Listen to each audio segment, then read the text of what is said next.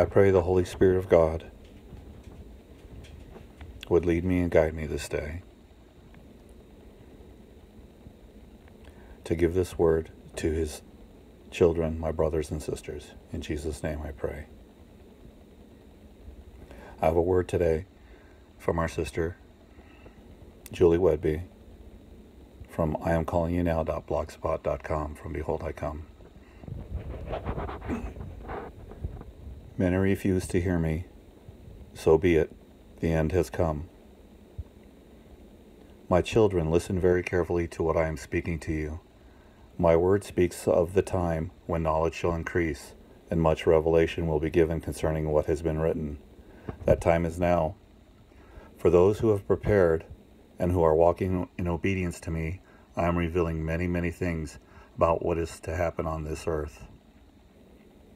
A great and mighty war rages in the heavens, and now it is time for my army to engage, as she was trained to do. For the darkness has come, and Satan's time is very short in hell. As I take unto myself my first fruits, they will be infused with all power and authority and be given abilities that have never been known until now. I have reserved for them for such a time as this, and when I reveal them to the world, the world will be astonished at what has occurred, as what will happen has never been seen Many will be purified and made white, but the wicked will not understand. He that is unjust, let him be unjust still, but he that is holy, let him be holy still.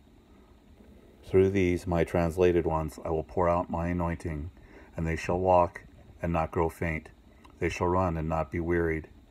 They will heal the sick and cast out demons, raise the dead, and manifest as I direct them to do. A wonder to behold, Yes, as all I have reserved for the season is poured out upon them.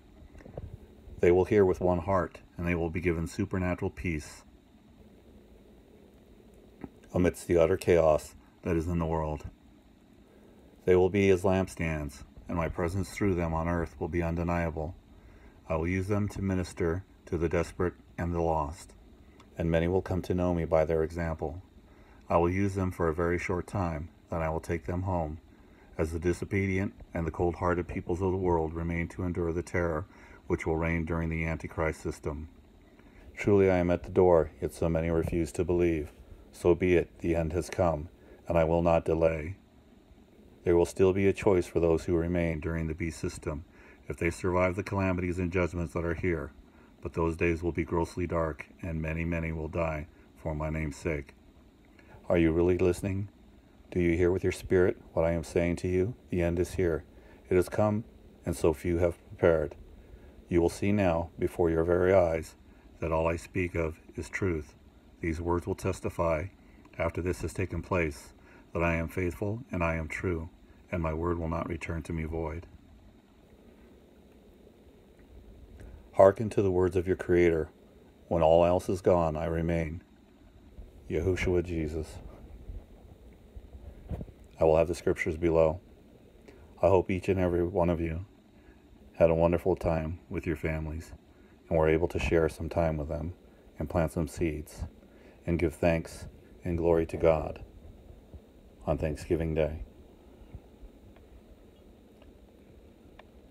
Glory to God in the highest, for He alone is worthy of praise. As with any message, please go into your prayer closets and seek confirmation from the Holy Spirit of God and trust in no man and in no woman, but put your full faith and trust in Jesus Christ, our risen King and Savior. I pray that he would place his hedge of protection round about you on all sides, above you and below you.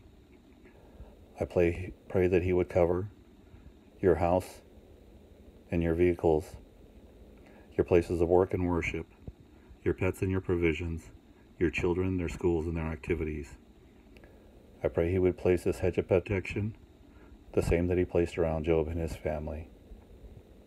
I pray that he would cover you all with the blood of Jesus. Glory to God in the highest, for he alone is worthy of praise. I pray all this in the name of Jesus Christ, my risen King and Savior. Amen and amen.